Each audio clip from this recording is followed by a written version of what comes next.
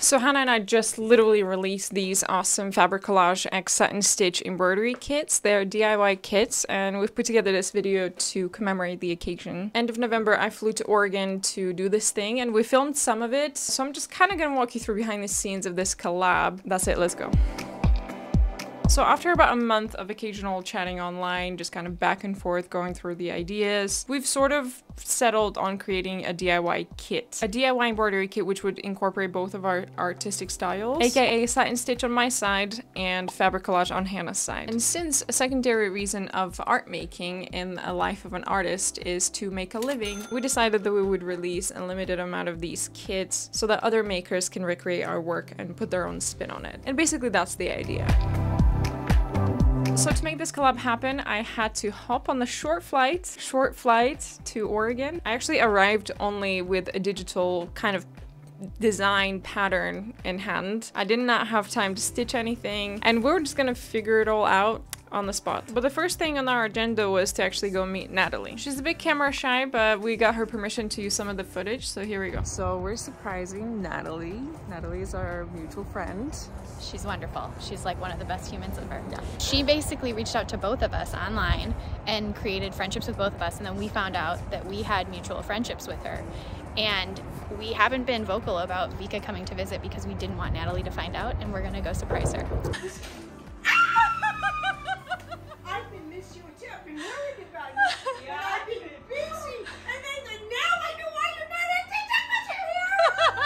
Natalie actually ended up helping us a whole ton throughout the full process. So the next day, all three of us went straight to work by picking up some fabrics for the collage part of our art piece, and that was the beginning of the journey with it really, which ended up being a lot of work as well as a lot of fun. We're at Jean Marie's and we're picking out fabric. I figured I should document this. These are some of the fabrics we've picked out so far. I'm really excited to show you what we're working on. Vika's getting the full experience of a fabric store Yay! I think she's slowly falling in love. It's working! and as I mentioned, I didn't actually do my homework. I didn't stitch anything until I actually got there. Got a little, a little bit busy, okay? We had to use my digital mock-up to figure out the layers that we would use for the fabric collage part of it. There was a lot of imagining, imagining? Is that the word? There was a lot of imagining going on at that moment, which is no hard job for Hannah as it turned out. We did have a lot of fun trying to figure out all those layers. I pretended that I knew what the hell I was doing and Hannah did all the work, so it worked out for me pretty well. And then I just spent the whole evening stitching this freaking mountain because it had to be done. And it was no easy. Like, it was no quick, no easy. I had to work for many, many hours in the night to actually get it done. But even that wasn't enough because I couldn't actually finish. Like, I went to bed, I think, at 3 a.m. It wasn't done, so I had to finish it in the morning. While I was stitching that morning, Hannah and Nat prepped some fabrics and cut them to size for those beautiful kits we were gonna release. And once the stitching was done, we then could finally put the whole thing together. Kinda. I, it took a few attempts. As with all art forms, there was a lot of tweaking involved. We played around with layers and fabrics and swapped some layers and swapped some fabrics and cut differently and layered differently until we pretty much just were a little bit happy with what it was kind of becoming.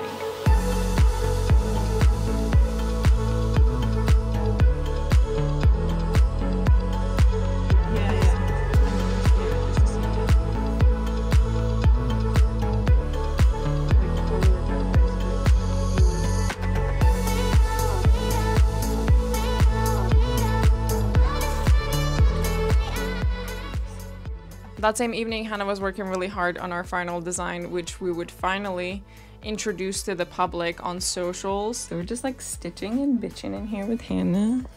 And she's doing a single strand. And what did you just say? I'm like Vika. Look, I'm doing Vika style.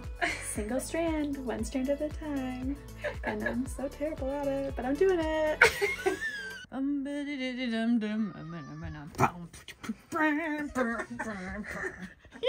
you, know that song? That's the sound. That's a clip.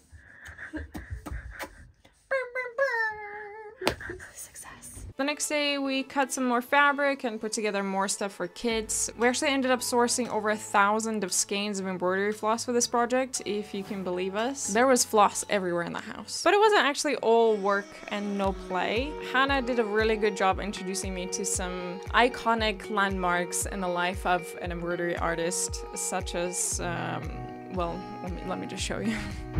So I'm taking Vika to all the important spots of an artist maker's life. So we are hitting at Michael's today.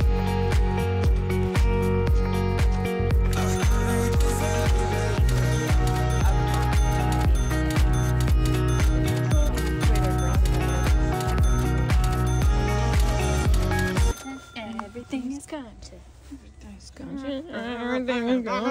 It is now time for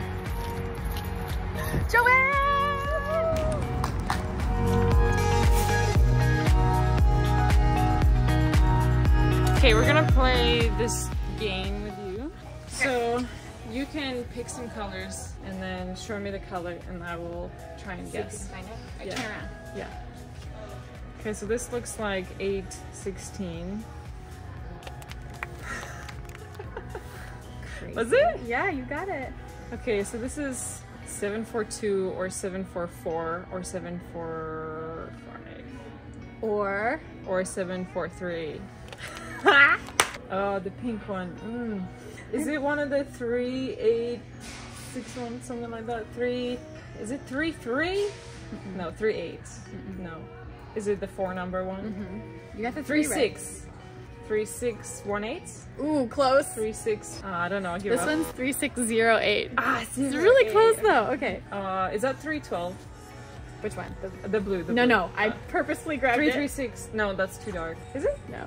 Oh, uh, eight two four. Close. No. Okay. No, I give up. 803. Eight oh three. Oh, I never used that color. That's really hard. I tried to pick a color you don't use. I don't know if I've ever seen you use this I don't color. know. Is it one of the fives? It's a five. It's a five. I should know that. I'm not even close. I'm terrible with this. Okay, so five six one. Close. Oh, it's a five six two. Yes. That's really cool. That's. This is. It is safe to say that I spent a lot of money at Michael's and Joann's, and also I did actually have to buy a second set of luggage to bring with me back home. So with only a couple of days left on my trip, it was finally time for me to experience the glorious Pacific Northwest. We headed out to Portland and of course took the scenic route. For me personally, it was a dream come true. The word of the day was definitely wow, and as we drove those windy roads along the stunning Oregon coast, stopping at small towns and taking in the scenery, and all of that to the best soundtrack of my life, aka Twilight Saga soundtrack, which do not judge me, it is a beautiful soundtrack and a beautiful movie. You, can't, you just can't beat that. You can't beat that. It's honestly a dream come true.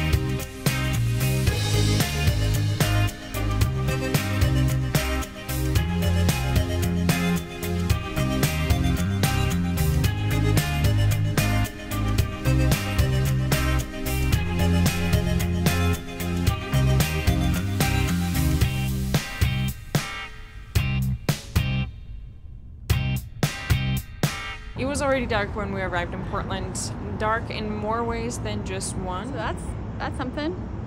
It's not a bad omen. We're not supposed to. I feel bad for laughing, but this is crazy.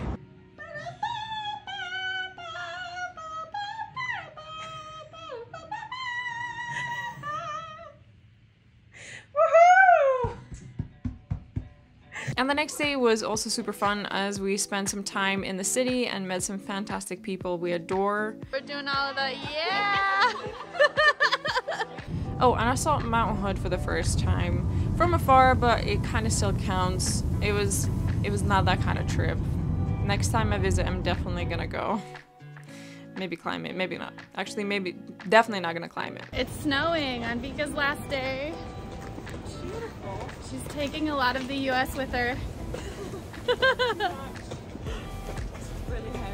so heavy. That's okay though.